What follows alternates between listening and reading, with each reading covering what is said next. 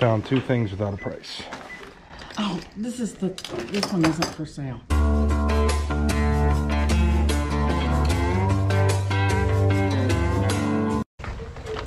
Hi.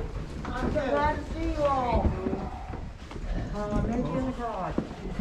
Yeah, there is stuff in the garage too. There's bags by the door. You don't want me falling. Anything in these?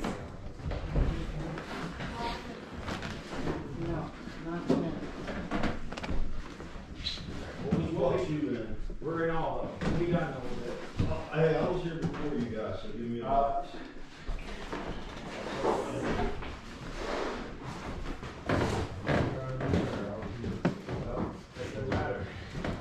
Ain't here anyway.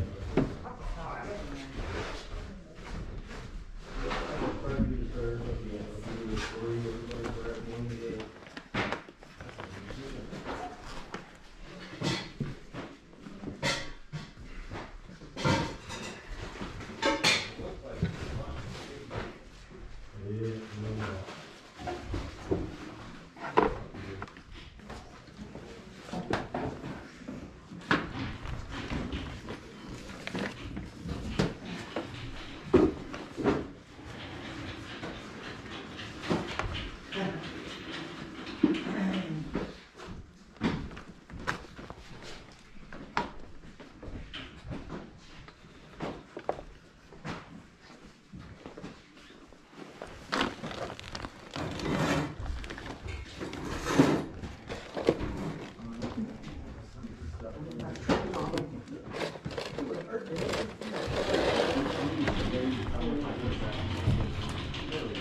we go. I'm amazed how much of this stuff I, I've seen out there.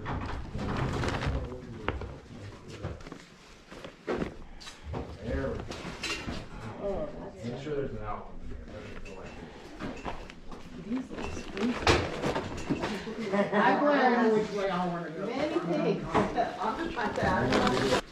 Yeah, I'm just putting my stuff on this side. I don't have to bend over, you know? I know, I think I'm just gonna kind of keep this spot right here. Keep going. How do you know that's static,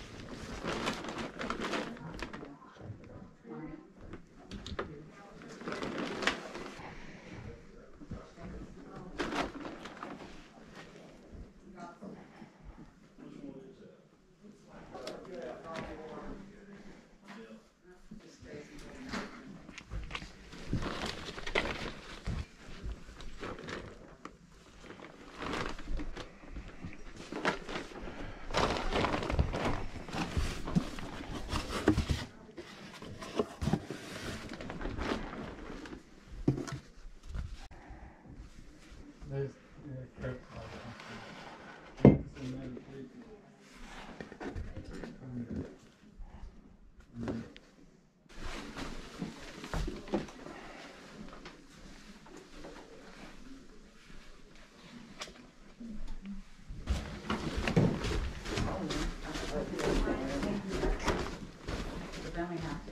I gotta count up what I got here.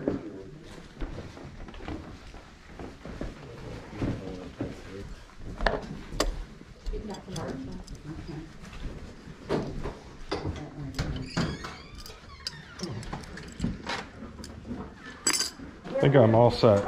Twelve and twelve, is that it? No, I've got a whole bag here. I found two things without a price.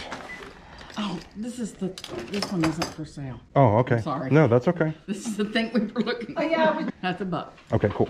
Ninety-six. There's a hundred. Let's see what I got. Oh, I've got bags. You sure? Yep, I'm good to go. Came prepared. Thank you. Good luck with the sale. Thank you. Hey guys, today is Friday. I went to one estate sale today and they had a lot of stuff. Just tons and tons of stuff. A lot of really cool collectibles. Some stuff was just priced too high for me to really make any money on, but I did find a handful of things. I got it all pulled out. I'm going to show you what I found. They had some really cool hats. Unfortunately, they had them priced up a bit. Typically when I find hats, you can get them for a buck or two, but I think they had probably looked up some prices. Like this one right here, they had 15 bucks on, and I saw the same one sell for 70 plus shipping, except the pattern was a little bit different here. It's just so unique and different that I had to pick it up. So I think somewhere in like the 50 to 70 dollar range is realistic for me to get for that one. They have these two spam hats for 15 bucks each. I could not find any active or sold comps on these. Looks like it says we love it on the side. I did see um, a vintage spam hat sell for $25 plus shipping, and it just said like spam right there. So the fact that these have a little bit of character, I think will help the value.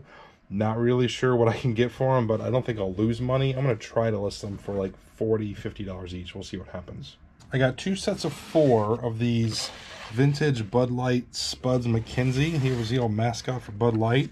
And it's perfect timing because it's the holidays and he's got his gifts and his sweater and everything.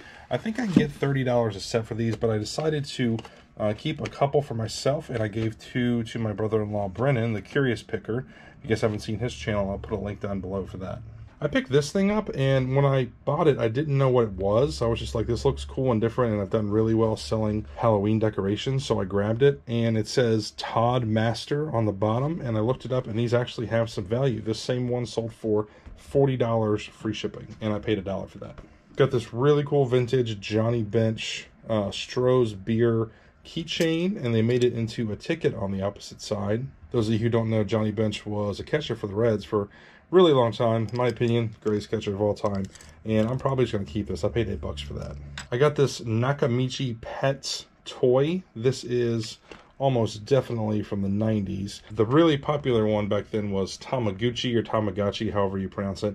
And those can have some really, really serious value. This one, I saw the same one sold for like $48 free shipping. I paid 8 bucks for that. Got this Don Knotts signed photo. You have to be really careful anytime you see signed stuff. I looked at it and I thought the uh, signature looked legit and it looked real. And then I come to the back and it says uh, certificate of authenticity from Tune Art. I've actually seen this Tune Art company before. And it says right here, signature series, each individually autographed. And there's Don signing them. Paid $12 for this and I saw one on eBay sell for 150 bucks. So I had no idea it would be worth that much when I found it, but I'm really happy with that. That's a cool find. Last thing I bought at that sale is this 1990s Nasty Boys poster. Norm Charlton, Randy Myers, Rob Dibble, um, they were the bullpen. Uh, well, you know, a big chunk of the bullpen uh, of the Reds in the 90s, especially when they won the World Series. And this is just a really cool poster. I paid 12 bucks for that, and I think I'm just going to hang it up here at the shop. That is it for this video, guys. Thanks for watching. I'll see you next time.